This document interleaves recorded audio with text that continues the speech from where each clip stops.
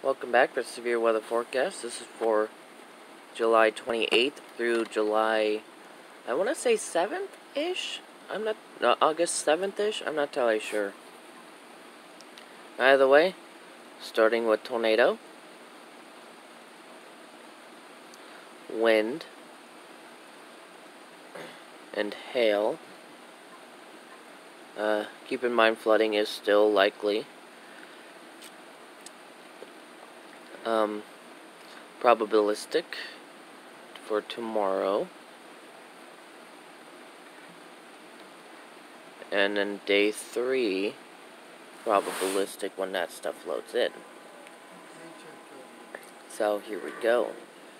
Uh, probabilistic won't show with anything.